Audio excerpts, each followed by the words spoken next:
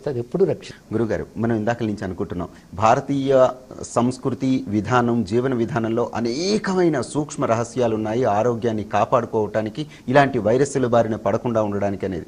కానీ అవన్నీ కూడా ఎందుకు దూరం అయిపోతున్నాయి ఎలా ఇప్పటి వాళ్ళకి నేర్పించాలంటారు? ఇప్పుడు ఏంటంటే కంటికి కనబడేదే సత్యం అనే ప్రత్యక్షవాదం వల్ల కొన్ని ప్రమాదాలు ఉన్నాయి. ఇప్పుడు ఆ ప్రత్యక్షవాదంతో ఆలోచిస్తే వ్యాధి కనబడట్లేదు వైరస్ కనబడదు మనకు లేదని అంటామా? అయితే ఈ వైరస్ లాంటివి కూడా భౌతికవాదంలో ఒక భాగం. ఇంకొక విషయం ఉన్నది ఇక్కడ. ఈ లోకంలో ప్రతి వస్తువుని ఆశ్రయించుకుని దివ్యశక్తి దుష్టశక్తి రెండు ఇది ఇంకా గమనించే దశకు అధునాతన విజ్ఞాన శాస్త్రం ఎదగలేదు. ఎందుకంటే దీని పేరు భౌతిక విజ్ఞానం. అది ఇంకా సూక్ష్మ విజ్ఞానం అది ఇక్కడ. కానీ పదార్థాన్ని రోగకారి క్రిములు మాత్రమే కాకుండా దుష్టశక్తులు కూడా ఆక్రమించి ఉంటాయి. ఈ దురాచారాల వల్ల దివ్యత్వాన్ని గ్రహించడం ఎందుకంటే మట్టిగాని ఒక అద్దం మీద పడిపోతే దానిలో ఏ ప్రతిబింబం ఎలా గోచరించదో ఈ దురాచారాల వల్ల మాల్యం ఏర్పడితే దివ్యత్వాన్ని మనం తెలుసుకోలేము దురాచారం దివ్యత్వాన్ని తెలుసుకోనివ్వదు. దీనికి ఒక చిన్న వృత్తాంతం ఉంది భారతంలో. ఉదంకుడనే ఒక మహానుభావుడు గురువు దగ్గర విద్యంతా నేర్చుకుని గురుపత్ని కోరిక మేరకు పౌష్యుడనే రాజు భార్య కుండలాలు కావాలని వెళ్తాడు. అప్పుడు ఆ రాజుగారు అంటారు ఆమెనే వెళ్ళి అడుగు అంటాడు. ఆ అంతఃపురంలోకి వెళ్ళొచ్చిన తర్వాత ఆమె నాకు కనబడలేదు నువ్వు అబద్ధం ఆడేవు ఆమె అక్కడ లేదు నువ్వు వెళ్ళమని చెప్పావంటే అప్పుడు ఒక మాట అంటాడు. నువ్వు వస్తూ వస్తూ కాళ్ళు కడుక్కోకుండా నిలబడి ఆచమనం చేసావు ఆ దురాచారం వల్ల దివ్యత్వాన్ని చూడలేవు.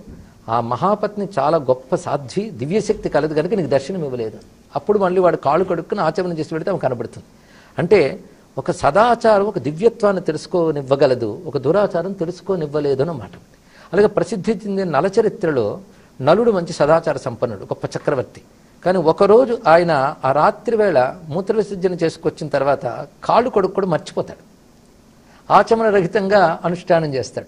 ఆ ఒక్క దోషంను చూసి కలి లోపల ప్రవేశించింది ఆయనకి దానితో అతను ఎంతో పతనమైపోయాడు. అంటే దుష్టశక్తులు ప్రవేశించడానికి దురాచారం కారణమవుతుంది. అది సదాచారం మనలో ఉన్న దివ్యత్వాన్ని జాగృతిపరచగలదు విశ్వంలో ఉన్న దివ్యత్వాన్ని దర్శింపజేయగలదు. అందుకే మన వాళ్ళు అనుష్ఠానాల్లో వాటిలో నియమాలు సదాచారం పెట్టడానికి అధికారం. మంత్రం అనేది ఒక దైవశక్తి. ఆ మంత్రానుష్ఠానం కానీ మంత్రం ద్వారా ప్రకృతిలో ఉన్న దైవత్వాన్ని మనం తెలుసుకోవాలన్నా సదాచారం అంత అవసరంగా మన వాళ్ళు ఏర్పాటు చేశారు. ఇది కూడా ఈ కోణంలో చూడాలి. ఎంతకాలం రోగ కార్యక్రమాలే కాదు. ఇప్పుడు కరోనా కాకపోతే మరొకటి భరోనా. ఏ రోగం అయినా రోగాలు లేని జీవితం కావాలి మనకి. కరోనా కావచ్చు క్యాన్సర్ కావచ్చు ఏ రోగం లేని జీవితం కావాలి. అందుకే అటువంటి జీవితానికి ఈ జీవన విధానం మనకు చూపించారే ఇది తప్పకుండా ఒక ఆరోగ్యాన్ని ఇస్తుంది అందుకే ప్రతివారు యోగ విద్య యోగ విధానం నేర్చుకోవాలి.